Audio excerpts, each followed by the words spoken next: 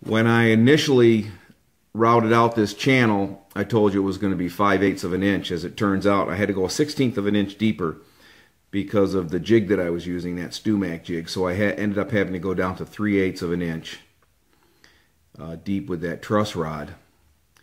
Um, not critical, but uh, you want to be careful that you don't get too thin so that that neck isn't too thin when you're done carving it and weakens that neck.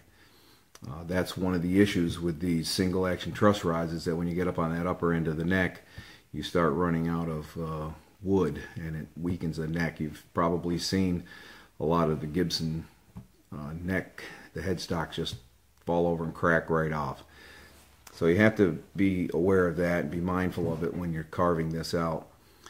Um, so we're at 0.375, 3 eighths of an inch deep in the center of the length of that truss rod channel, which is right in here.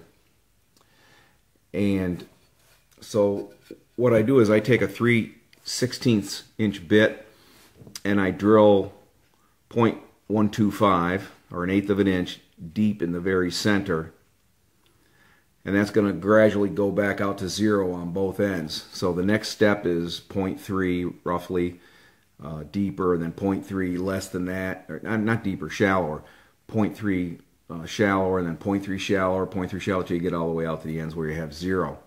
And then you gently gouge that curve in.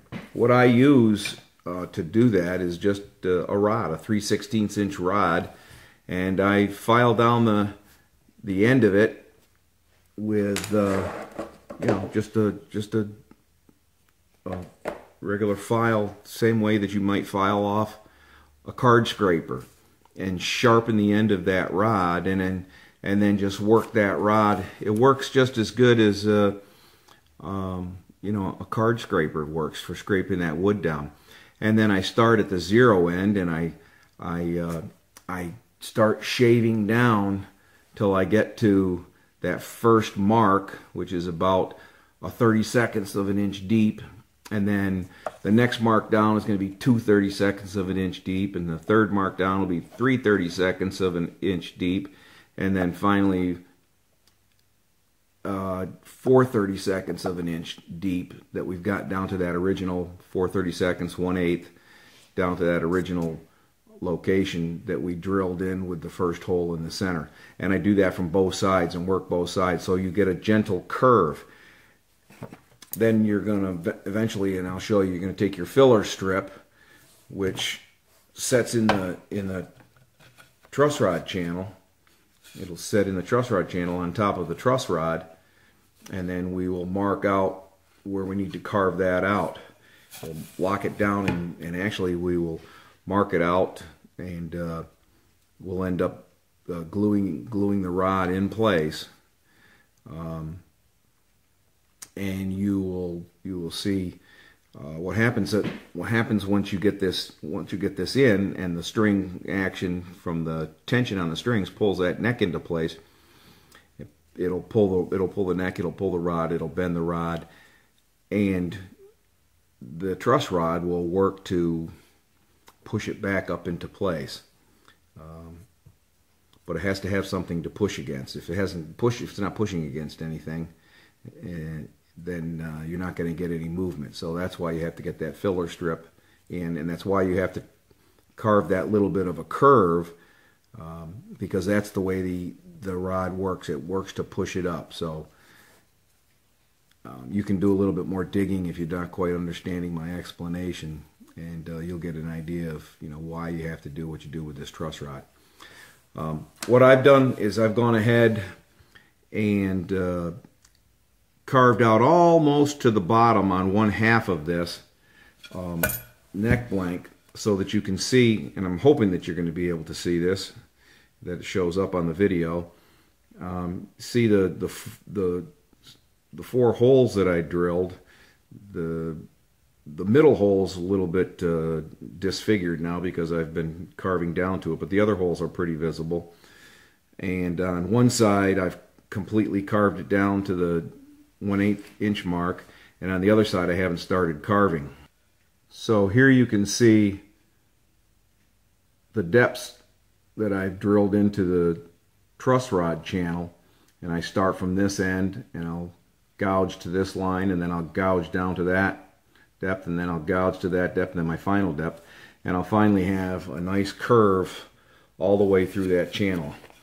Um, the process of of gouging this out is is nothing more than running the running this little bar, 3 16 inch bar that I made, little gouger, down the center of the channel. I'm not going to go ahead and, and show you how I did that. Um, if you've done any kind of woodworking, it's just a matter of, you know, pushing it down through and scraping that that uh, wood out. And uh, I think you can handle that on your own. Um, but I'm going to go ahead and finish the other side. And then when I'm done, I will show you uh, on the filler strip exactly what's going on with that truss rod. So I'll be back in a minute uh, and let you take a look at that. I've finished uh, gouging out the channel. I've uh, installed my filler strip and clamped it down. And